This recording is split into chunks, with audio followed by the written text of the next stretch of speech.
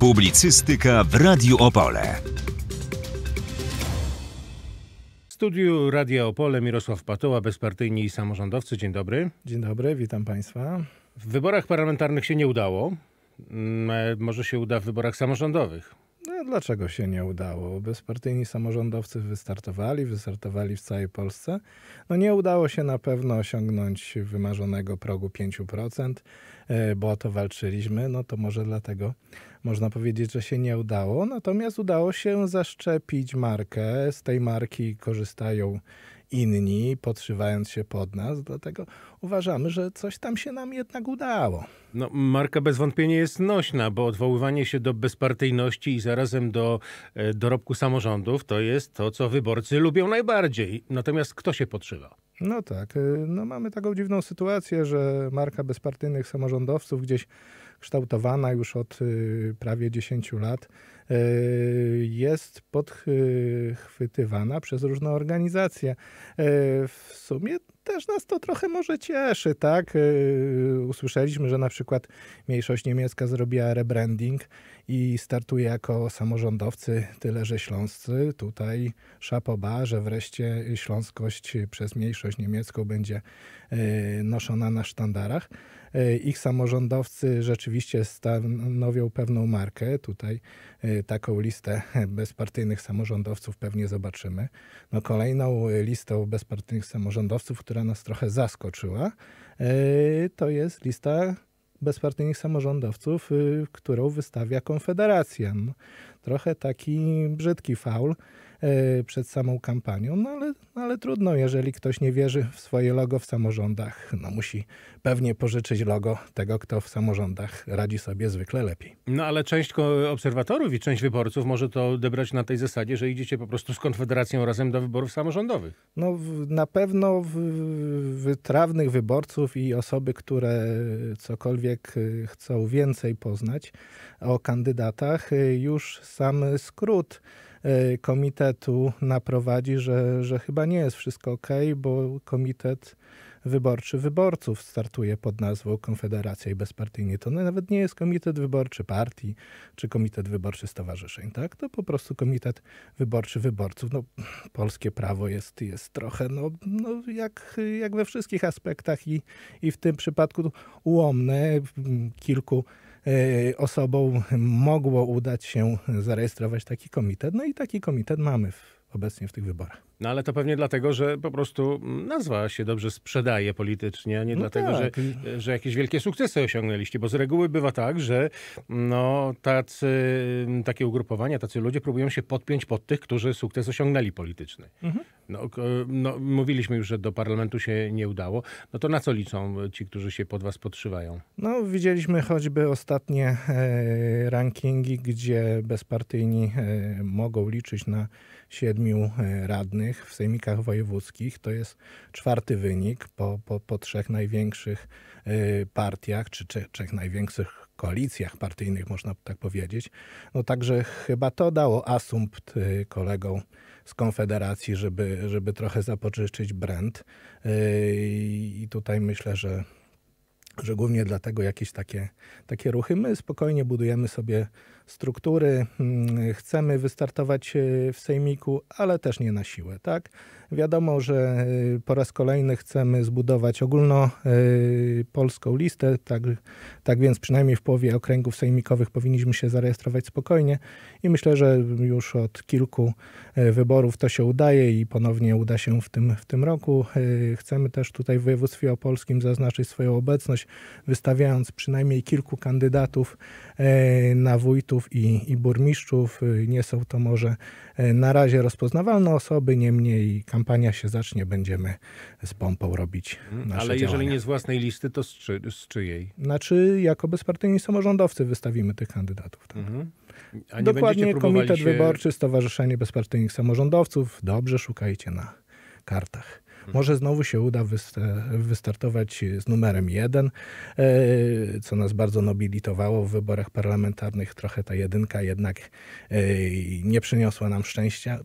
Może teraz siódemka choćby, tak? Bo to bardziej szczęśliwa liczba.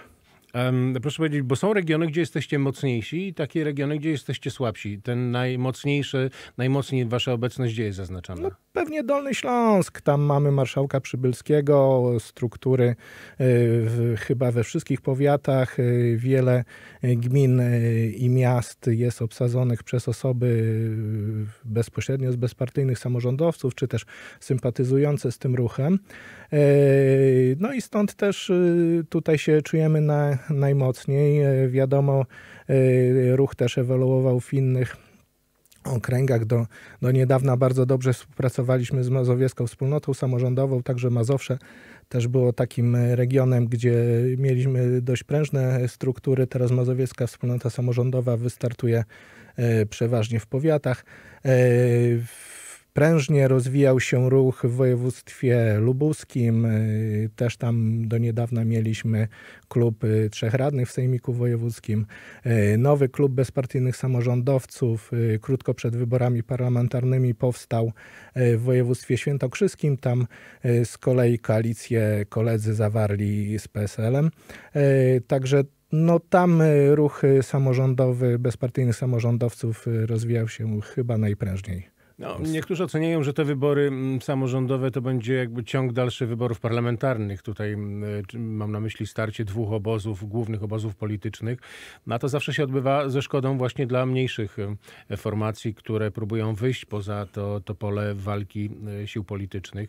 E, to chyba obniża wasze szanse też. No właśnie i tu brakuje też edukacji o, o samorządzie. Tak naprawdę co odróżnia te wybory sejmowe sejm, od wyborów sejmikowych czy, czy wyborów do, do miast czy gmin. Y, tutaj no niestety większość z nas y, nie ma wyrobionej wiedzy, a to, to bardzo ważne. No i dodatkowo ten krótki okres pomiędzy tymi kampaniami y, źle wpływa, a już niedługo, przypominam, kampania do Europarlamentu. Natomiast mi się wydaje, że te wybory do, na wójta, burmistrza, prezydenta czy do sejmiku są on, dla nas obywateli bardziej ważne niż te wybory do Sejmu czy Europarlamentu i tutaj e, no niestety e, nie mamy czasu jako wyborcy się na tym skupić. E, no i tak jak pan mówił, jeszcze żyjemy tymi emocjami poprzedniej kampanii, nie odróżniamy tego za bardzo od, od tego, co, co się będzie działo. No i to wykorzystują dwie największe partie. Trzecia, trzecia droga też próbuje do tego hmm, do, dołączyć. No natomiast pozostałe organizacje no niestety walczą o życie w tych wyborach. Mhm, no właśnie, bo to też jest tak, że przynajmniej jedna z tych e, partii, o których pan mówił, też ucieka od tego swojego szyldu na poziomie wyborów samorządowych. Coraz częściej to są komitety Mm, firmowane nazwiskiem mm, startującego, chociaż na przykład w poprzednich wyborach, czy, czy jeszcze wcześniej startował z listy y, z tego, pod tym szyldem partyjnym Prawa i Sprawiedliwości. No ale wszystkie partie mają z tym problem. Popatrzmy chociaż na Platformę Obywatelską i jej problemy w Opolu. Tak? No już nawet nie, nie ukrywa tego, że kandydat Platformy nie ma yy, nawet co liczyć na, na drugą turę, jeżeli w ogóle będzie druga tura i tutaj dogadują się yy, po cichu z, z prezydentem Wiśniewskim. No są różne taktyki. E, podobnież jest to rozgrywane w drugim mieście prezydenckim, gdzie pani prezydent też chyba nie startuje. Z własnego e, komitetu no ze właśnie, wsparciem Platformy. No właśnie. E, podobnie dzieje się w pozostałych miastach powiatowych. W mieście powiatowym Krapkowice to w ogóle stało się trzęsienie ziemi.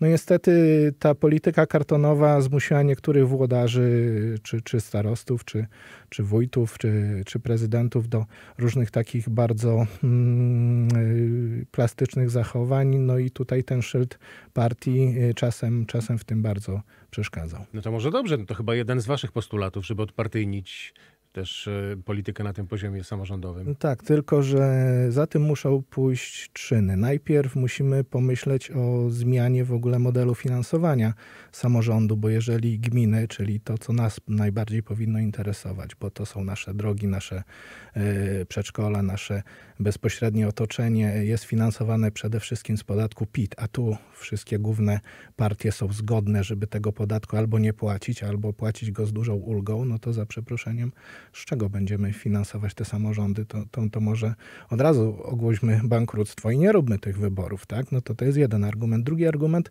yy, dlaczego tak ciężko się komukolwiek przebić, są choćby okręgi. Popatrzmy na Sejmik, tak? Mamy 30 yy, radnych wybieranych aż w pięciu okręgach. Czemu nie wybieramy radnych w trzech okręgach? Tak jak to jest choćby do Senatu. Wtedy wszystkie okręgi mogłyby być mniej więcej po 10%, co spłaszczyłoby bardziej, bardzo próg wyborczy, tak? Tu nie trzeba byłoby mieć 15-20% w, danym okręgu. Są takie trzy okręgi, gdzie praktycznie małe organizacje no nie mają y, prawa y, zebrać y, mandatów, no bo próg wyborczy każdego pokona. No, ale w przypadku Sejmiku Samorządowego od lat mówi się o tym, że to jest e, taka emanacja sił politycznych, tych głównych sił politycznych na scenie, e, na scenie krajowej. E, natomiast dopiero szczebel niżej zaczyna się rzeczywiste życie samorządowe. Ja niedawno czytałem taką fajną publikację, nawet bezpartyjnych, można powiedzieć, twórców pod tytułem Umówmy się na Polskę i tam, tam fajnie opisano, jak ten samorząd powinien wyglądać. Tak? Ten sejmik nie może być kalką tego, co się dzieje w Sejmie, a niestety tak jest. I, I tutaj dla nas, y, mieszkańców, te duże projekty inwestycyjne zawsze będą zabarwione partyjnie. Poprzednio wiadomo było, że dobrze było mieć y, kolegę posła y, w, w, w partii rządzącej. No teraz niestety będzie, będzie tak samo i od tego, tego nie, nie uciekniemy i dalej będą jeździć niestety posłowie z różnymi kartonikami i, i i myślę, że tu się za dużo nie zmieni. Także od tego sejmiku musimy trochę zacząć y, też y, tą reformę samorządów. Tak jak mówię, w tej publikacji jest fajnie opisane, do, do czego można dążyć. Każdego, kto bardziej poważnie myśli o, o samorządzie, odsyłam do tej publikacji. Bardzo dużo o niej ciepłych słów mówi profesor Dudek, którego zawsze warto posłuchać. Ale sami y, samorządowcy, sami politycy mówią też o tym, że trzeba zreformować system, w ogóle zreformować system finansowania samorządów, uniezależnić go od woli polityków. No, akurat chyba w ostatnich latach szliśmy w drugą stronę. Myśli pan, że teraz jest szansa na to, że te wektory się zmienią i mm, wprowadzi się taki, no powiedzmy, zobiektywizowany system finansowania samorządów, gdzie nie będzie to zależało od tego, kto ma mm, lepsze przełożenie na polityków w Warszawie? Znaczy, na pewno próbą będzie tak zwana desinstytucjonalizacja usług publicznych, która nas czeka w najbliższym planie E, wydatkowania, tak tutaj NGOsy, organizacje e, oddolne powinny przejąć od, od gmin, od powiatów e, pewne usługi publiczne.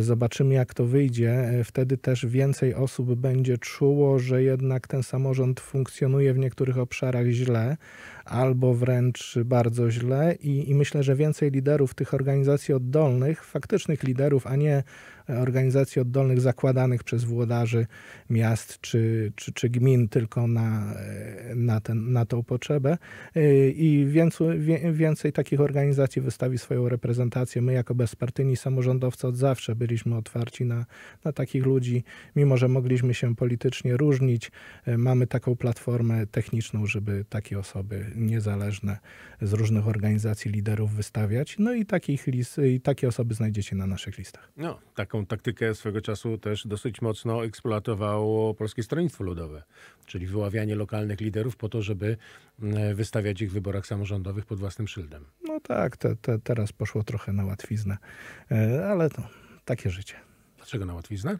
No, wzięło ruch młody, który się tworzył. Dzięki temu wyszli oni z tak zwanej strefy 7-15, tak? No i tutaj e, procent tutaj mogą, mogą przeżyć, tak? Niektórzy nazywają, że to nawet taka dolina śmierci, czyli te organizacje, które przeszły już próg wyborczy, mają na poziomie 70%, będą zawsze starały się przeżyć, tak? No tu akurat PESEL zrobił dobry ruch, biorąc pod swoje doświadczone skrzydła ruch Hołowni. No i osiągnął sukces. No tak, no ale też poniósł, y, ponosił pewne ryzyko, tak? No tutaj y, SLD i, i, i lewicowym organizacjom dwa razy nie udało się przejść progu wyborczego dla y, tego 8%. No tutaj, tutaj się to udało. Ale warto przypomnieć pod kolegom. jakim sztandarem, pod jakim hasłem odpolityczniania polityki właściwie, tak? No, czyli no. szukania trzeciej drogi. Sztandary szybko idą do szafy.